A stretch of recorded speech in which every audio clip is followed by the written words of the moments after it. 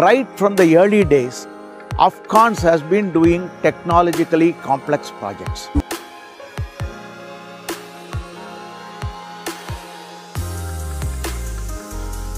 I must say, Chena Bridge will be on the top. For the simple reason, this is once in a generation project. सारे जहाँ से अच्छा हिंदुस्तान हमारा ये सुनकर ही कितनी वाव वाली फीलिंग आती है ना हम इंडियंस को हमारी हर एक चीज़ पर बहुत प्राउड है। चाहे वो हमारे कल्चर हो ट्रेडिशन हो, यहाँ की डाइवर्सिटी हो, या फिर यहाँ के हिस्टोरिकल प्लेसेस हो।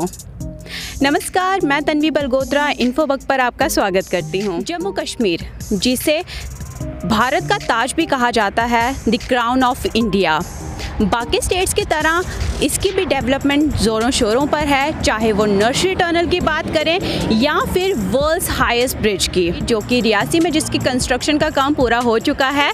तो चलिए आज आपको उसकी सैर करवाई जाए। वर्ल्ड्स हाईएस्ट ब्रिज की बात करूँ तो इसकी डेवलपमेंट का काम 2004 में स्टार्ट हो चुका था, लेकिन बहुत सारे स्टेज के बाद, बहुत सारे इन्वायरमेंटल कंसर्न्स के बाद फाइनली इसका काम 2021 में पूरा हो चुका है। तो चलिए बिना वक्त गवाए आपको रियासी की सैर करवाई जाए।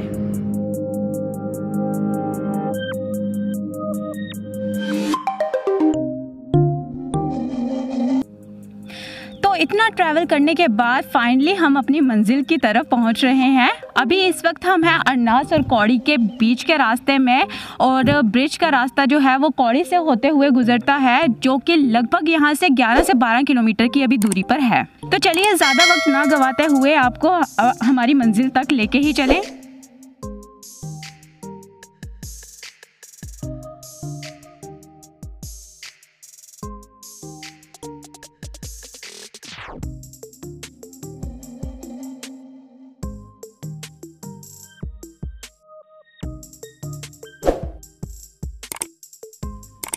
Chenab bridge world's highest rail bridge this way let's go तो इतनी मुशक्क़त के बाद फाइनली आज हम अपनी डेस्टिनेशन पर पहुँच चुके हैं and it is such a proud moment for all the Indians और एक बार फिर इंडियंस ने ये प्रूव कर दिखाया है कि उनके लिए कोई भी काम चुनौती भरा नहीं है। वो हर चुनौती से लड़ने के लिए तैयार हैं। और सबसे पहले तो मैं यहाँ के विजुअल्स आपको दिखा दूँ कि कितने ब्यूटीफुल लोकेशन पर ये आर्च ब्रिज बनाया गया है।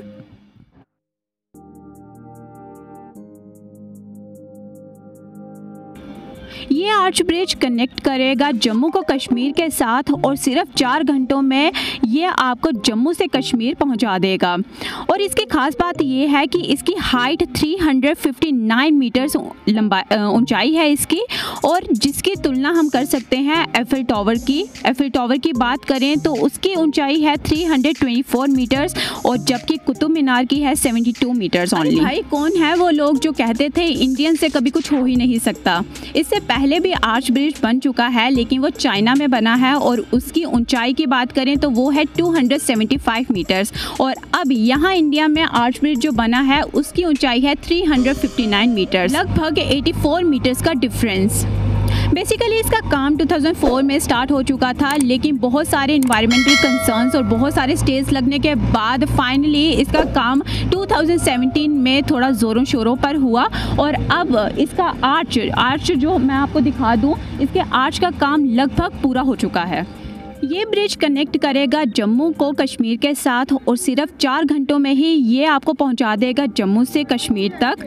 और इस ब्रिज की खास बात ये है कि इस ब्रिज को मेन सपोर्ट दिया है इस आर्च ब्रिज ने और इस आर्च ब्रिज को सपोर्ट किया है इन पिलर्स ने। जैसे कि मैंने आपको बताया कि ये आईफल टावर से भी ज़्यादा ऊँचा है वर्ल्ड का सेवन स्पैन है और इंडिया की टॉलेस्ट स्टेट स्पेंड्रल इसके साथ जुड़ी हुई है और देखने में ये आर्क आपको आपको बेशक इवनली दिखे, लेकिन मैं ये बता दूँ कि इसकी आर्क इवन नहीं है, ये अनइवन है। इस ब्रिज के दो एंड्स हैं, एक है बकल एंड जिसे जम्मू एंड भी कहा जाता है, और दूसरा है कोरी एंड जिसे श्रीनगर एंड भी कहा जाता है। और इसके दो कर्व्स हैं, जो कि एस शेप के हैं, और उसकी लंबाई 777 मीटर्स की है। ये ब्रिज कटरा बनिहार रेलवे लाइन पर बना हुआ है और इसकी कुल लंबाई 111 किलोमीटर की है, जिसमें 37 ब्रिजेस हैं कुल मिलाकर और 27 टनल्स हैं।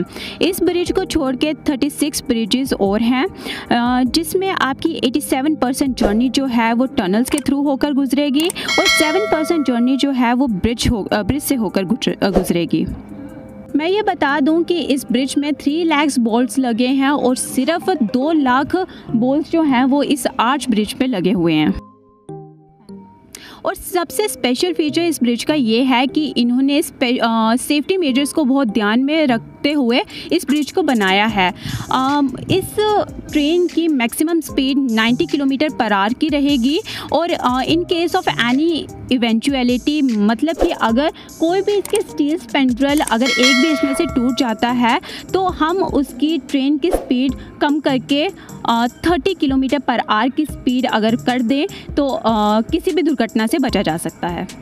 तो ये था वर्ल्ड्स हाईएस्ट रेल ब्रिज जो कि कटरा बनिहार रेलवे लाइन पर बना हुआ है।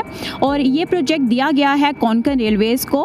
किसी भी प्रोजेक्ट को शुरू करने से पहले मन में ये थॉट आता है इसके सेफ्टी मेजर्स को लेकर। और बात करें इस ब्रिज की तो इस इस ब्रिज को स्टार्ट करने से पहले बहुत सारे सेफ्टी मेजर्स को यहाँ पे लिया गया और इस पर काम भी किया गया है। जैसे कि मैंने आपको पहले ही बता दिया कि किस तरह के सेफ्टी मेजर्स का यहाँ पर ध्यान रखा गया है।